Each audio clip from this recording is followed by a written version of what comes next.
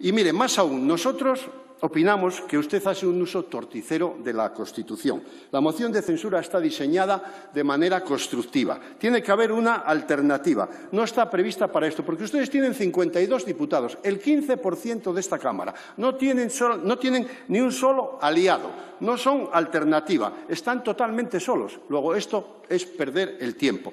Y en realidad, esto, en realidad, además de perder el tiempo, es una provocación. Y es una provocación más porque no hace falta insultar. Ustedes provocan casi todas las semanas algunos de sus portavoces nada más salir, por ejemplo, empiezan a llamar a la señora Batet eh, señora presidente. ¿Qué sentido tiene esto? Una vez tiene gracia, pero ya, ya huele cuando se repite constantemente. Esto no,